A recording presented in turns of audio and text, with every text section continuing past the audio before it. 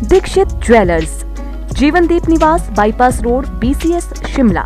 सांसद हर्ष महाजन के बयान पर पंचायती राज मंत्री अनिरुद्ध सिंह ने पलटवार करते हुए कहा कि जो वे कह रहे हैं, वे सब संविधान की बातें हैं और संविधान तोड़ने में भाजपा न सिर्फ़ देश में, बल्कि पूरी दुनिया में सबसे आगे है। उन्होंने कहा कि जो तीन आज़ाद विधायक थे, जिन्होंने पैसे लेकर इस्तीफा दिया और सरकार को गिराने का षड्यंत्र जो भाजपा रच रही है, उसमें वे कामयाब नहीं हो पाएगी।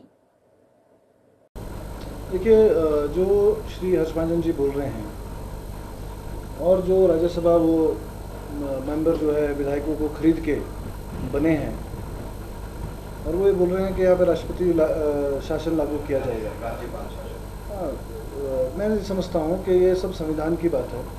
संविधान तोड़ने में भाजपा जो है सबसे न केवल देश में पूरी दुनिया में कॉन्स्टिट्यूशन को तोड़ तोड़ना मरोड़ना उसका जो मज़ाक बनाना इनकी आदत बन गई है। और जहाँ तक जो भी कार्रवाई होगी चाहे वो आ, किसी भी मामले में चाहे वो एम हैं चाहे वो प्रधानमंत्री राष्ट्रपति और कानून के तहत ही होती है। तो मैं समझता हूँ निलंबन अगर हो तो वो कुछ ना कुछ उन्होंने किया होगा। और रही राष्ट्रपति राष्ट्रपति गवर्नर शासन लगाने की या राष्ट्रपति शासन प्रेसिडेंट रूल लगाने की स्टेट के अंदर तो मैं नहीं समझता हूँ कि ऐसे लगने वाला है। उसके लिए कोर्ट के दरवाजे हैं सुप्रीम कोर्ट है। उनके बोलने से ये काम नहीं होने वाला है। कैसा है, वो अभी विपक्ष में है और उनको विपक्ष जो है वो बच नहीं रहा है। क्योंकि सत्ता के, सत्ता में इतना चूर थे, वो भी अभी तक नशा उनका जयराम जी का उतरा नहीं है। मैं समझता हूँ कि जो भी कानून व्यवस्था से खिलवाड़ करेगा, चाहे वो कोई भी चाहे वो एम के बच्चे हों, चाहे वो मिनिस्टर्स के हों, चाहे वो मुख्यमंत्री के हों, या पूर्व मुख्यमंत्री जो भी गलत काम करेगा, कानून के दायरे से बाहर जाएगा, उस पर कानूनी कार्रवाई जो है सख्त से सख्त करी जाएगी। एक आखिरी सवाल आज जो नेशनल हाईवे और अथॉरिटी जो काम कर रही है क्योंकि मैं समझता हूँ गावर एंड कंपनी जो जिसको केतली घाट ढली उसको बोलते हैं केतली घाट से ढली जो रोड बन रहा है उसमें गावरन कंपनी को एक सकराला से लेकर ढली तक का काम दिया हुआ है। उनकी अनियमितताएँ जो है वो बहुत ज़्यादा बढ़ गई बिना परमिशन के वो काम कर रहे हैं। उनको अभी तक सेकंड स्टेज की परमिशन नहीं आई है। उन्होंने फॉरेस्ट के जो डी कटी हैं वो भी सैपलिंग्स के सैंतीस लाख रुपए वो भी अभी तक उन्होंने जमा नहीं कराए हैं। मैं समझता हूँ और प्रोटेक्शन मेजर्स जो लेने चाहिए चाहे वो डंपिंग साइट में क्रेट वॉल है वो आ, उनकी ड्राइंग्स के हिसाब से नहीं है। सारी डंपिंग जो है वो फॉरेस्ट में करी जा रही है। पिछले पिछले चार पाँच दिन पहले जो आधे घंटे की बारिश आई थी उन्होंने तीन जो है बड़े बड़े डंगे लगाए थे। हम एक साल से बोल रहे हैं ये मामला जो है कुछ अधिकारियों को भी पता है, सरकार के पीडब्ल्यूडी के विभाग के लोगों को भी पता है, एसपी से भी मेरी बात हुई है डीसी से भी मेरी बात हुई है इस मामले में। और उनके खिलाफ जो है कानूनी कार्रवाई जो है गावर एंड कंपनी के खिलाफ कानूनी कार्रवाई जो अमल में लाई जाएगी। क्योंकि उनको हम पहले ही बोल रहे हैं कि जो आप मिट्टी जो डंप कर रहे हैं, वो साइंटिफिक वे से नहीं कर रहे आप आप जाके देखेंगे, लोगों के खेतों में मिट्टी घुस गई है, लोगों के घरों के अंदर मिट्टी घुस गई है।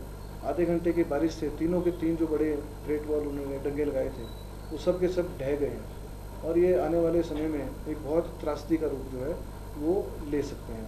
इसके लिए लोग जो है वोट की तैयारी भी कर रहे हैं, मैं समझता हूँ। और ये मानना ये एक बात बड़ी ध्यान में लाने वाली बात है कि इन्होंने तो डीआरए तो पहले कटी है, इनको डेट ऑफ़ जो अवार्ड लेटर है, जो एनएचआई देता है, वो उन्होंने बाद में दिया है। और इन्होंने डी जो है, पहले कटी है। इन्हें जो है वो एन के अधिकारियों ने भी करी हैं उनके ऊपर भी जो है कार्रवाई जो है अमल में जो है और मैं खुद इंश्योर करूँगा व्यक्तिगत रूप से कि इसमें जो भी अधिकारी सम्मिलित होंगे उनके साथ साठगांठ करके वो सभी जो है वो सभी जो है उनके ऊपर कार्रवाई सख्त कार्रवाई करी जाएगी। आप आप मैं आपसे चाहता हूँ कि जनता का काम है अमित शाह पिस्ता जो है गरीब आदमी पिस्ता है आप साइट पे जाइए ढली तक जाइए और वहाँ लोगों से भी बात करिए और आप देखिए मिट्टी कहाँ तक उन्होंने डंप करी है। वो सीधे ही जो है कोई इनको डंपिंग का फार्मूला नहीं है। हालाँकि साइट्स हैं उसमें कोई प्रोटेक्शन वॉल्स नहीं लगाई गई हैं। डायरेक्ट जो है वो जंगलों में डंपिंग कर रहे हैं। उससे पानी के सोर्स जो है वो ख़त्म हो रहे हैं। पुराने रास्ते जो हैं वो ख़त्म हो रहे हैं। और जो है लोगों के घरों को जो है नुकसान बहुत बड़े पैमाने पे जो है यहाँ त्रासदी मैं समझता हूँ उसका अंदेशा है। देखिए ऐसा है तो कहने वाली बात है। उनको बड़ी जल्दी जो है कानून या संविधान की याद जो है मैं समझता हूँ।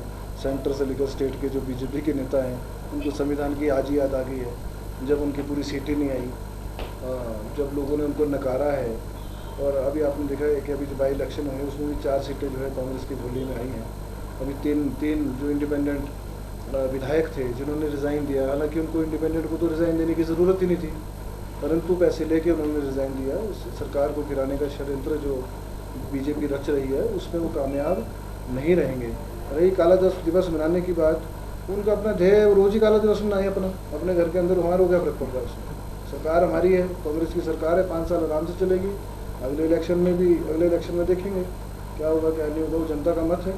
और वो चाहे तो रोज़ काला दिवस जो है, अपने घर में बैठ के मनाते रहे। हालाँकि मैं तो सलाह दूँगा, अपने घर की लाइटें भी बंद रखें। Bureau report, city channel, Shimla.